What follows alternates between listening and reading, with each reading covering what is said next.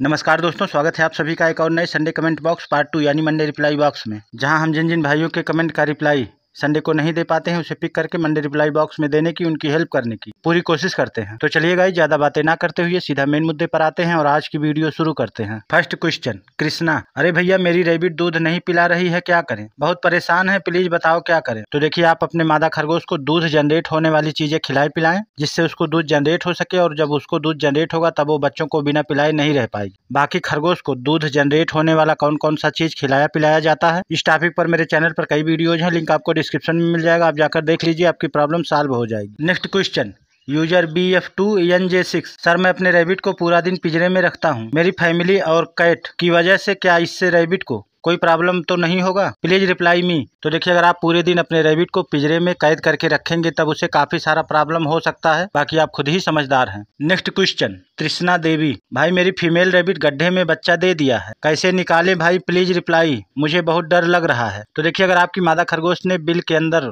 बच्चों को जन्म दिया है तो आपको बाहर निकालने की अभी कोई आवश्यकता नहीं बच्चे जब पंद्रह से बीस दिन के, पच्चीस दिन के, तीस दिन के हो जाएँगे तब, वो खुद से बाहर निकलना शुरू कर देंगे। बस आप अपनी मादा खरगोश को अच्छे तरीके से खिलाए पिलाएँ, जिससे वो बच्चों को दोनों टाइम जाकर दूध पिला सके। बस आपको इस बात का ध्यान रखना है कि वहाँ कोई शिकारी जानवर आ जा ना सके बस। बाकी इस गर्मी के मौसम में बच्चे बिल के अंदर पूरी तरीके से सेफ़ है no problem next question Pawan Pratap, sir, मेरा खरगोश ना तो खा रहा है और ना ही दो दिन से पेशाब और लेटिंग कर रहा है। बहुत सूजन है पेट में, सर, क्या करें? प्लीज़ जल्दी से जल्दी बताएँ। तो देखिए, आपके बताने के हिसाब से लग रहा है कि आपके रेबिट को पेट बंद की समस्या तेज़ी के साथ हो गई है। इसलिए इस सिचुएशन में आप कोई भी घरेलू उपाय ना करें और तुरंत किसी अच्छे बेड डॉक्टर के पास ले जाकर उसका ट्रीटमेंट करवाएँ, वरना देर या लापरवाही हो जाने पर प्रॉब्लम हो सकता है। बाकी आप खुद ही समझदार हैं। नेक्स्ट क्वेश्चन, अरविंद वर्मा क्या मादा खरगोश अकेली रहने व बच्चे ना देने के कारण मर सकती है? तो इसका आंसर है बिल्कुल नहीं। आप सिंगल रेबिट भी अपने घर पे आराम से रख सकते हैं, बस आप समय समय पर उसको कंपनी देते रहिए, उसे बहुत ज़्यादा अकेला मत छोड़िए। और बच्चे ना देने के कारण मादा खरगोश मर सकती है, ऐसा आप बिल्कुल भी ना सोचिए, क्योंकि एक रेबिट भी आराम से रखा जा सकता है, चाहे वो नर खरगोश हो या मादा।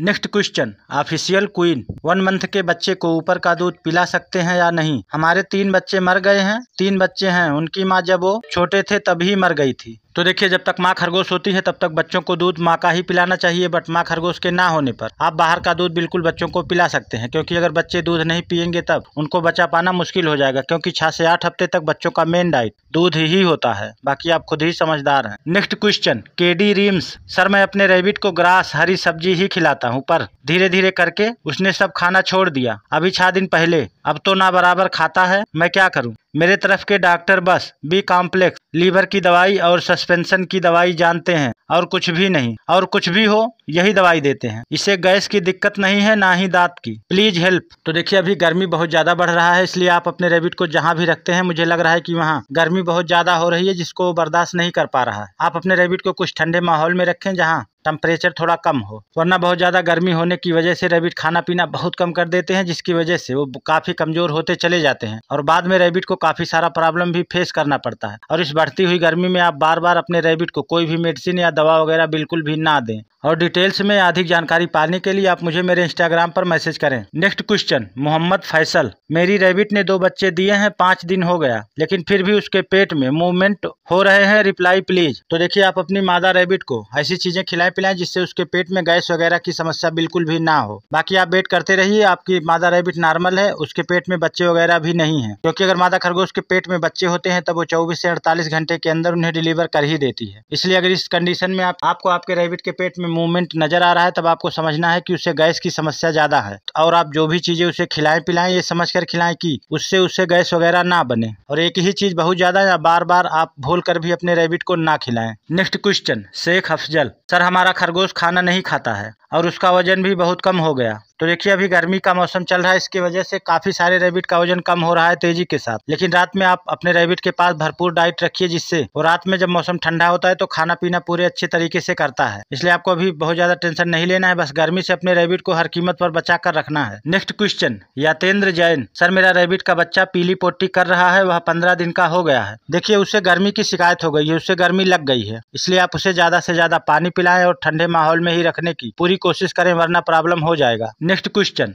User B F one, J S three E S. Sir, हम कल ही दो रेबिट लाए हैं, एक मेल और एक फीमेल तो वो अभी मेरे से डर रहे हैं और ठीक से घास भी नहीं खा रहे हैं, क्या करें? तो देखिए, नया होने पर कोई भी, चाहे रेबिट हो या कोई बड़ा जानवर हो, वो ऐसे ही बिहेव करते हैं। बट आप उन्हें ज़्यादा से ज़्यादा शांति का माहौल देने की कोशिश करें, उसे मारे पीटे या चोट ना पहुंचाएँ और जहाँ तक हो सके अपने रेबिट का दिल जीते। उन्हें उनकी मनपसंद चीज़ें खिलाएँ, पिलाएँ, वो धीरे धीरे नॉर्मल हो जाएँगे और आपके ऊपर भरोसा भी करने लगेंगे। और जब ऐसा होगा, तब वो अच्छे तरीके से रहेंगे भी और खाना पीना भी करेंगे। यानी कहने का मतलब है कि अभी आप उसे चार दिन, पाँच दिन अपने रेबिट को पूरी तरीके से शांत माहौल में रखें और बहुत ज़्यादा डिस्टर्ब ना करें। Next question जनातुल्लाह। सर, मेरी खरगोश ने पिंजरे के अंदर बच्चे को जन्म दिया है, लेकिन वह बहुत गर्म है और अंदर काट रही है, क्या मैं उसे बाहर अगले डिब्बे में रख सकती हूँ, कृपया अभी उत्तर दें। तो इसका आंसर है यस आप गर्मी ज़्यादा स्पेस वाले जगह पे ही बच्चों को और माँ खरगोश को रखें। आप बिल्कुल अलग डिब्बे में रख सकते हैं no problem next question Rampal Meena. हमारा एक सात दिन का खरगोश है, वह अपनी माँ का दूध नहीं पी रहा है। हम क्या करें, हमारी मदद कीजिए, वरना वह भी मर जाएगा। तो देखिए, अभी आप बच्चे को कम से कम तीन से चार बार, पाँच बार, दो दो तीन तीन बूथ करके पानी पिलाइए और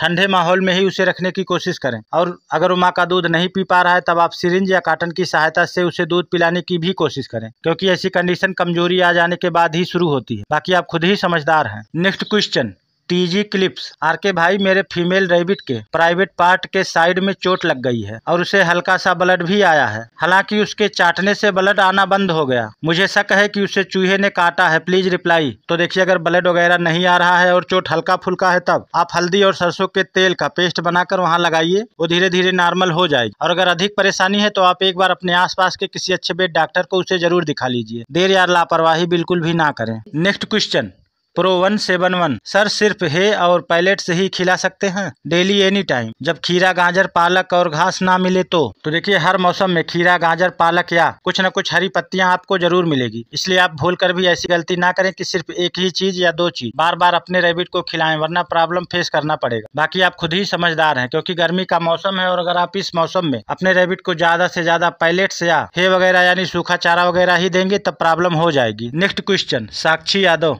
मेरा थोड़ा सा ज़्यादा पैलेट्स खाकर बीमार हो जाता है। लूज मोशन स्टार्ट हो जाता है। और सिर्फ़ मैं चार या पाँच ही पैलेट्स देती हूँ, तब भी प्लीज़ रिप्लाई मी, मैं क्या करूँ?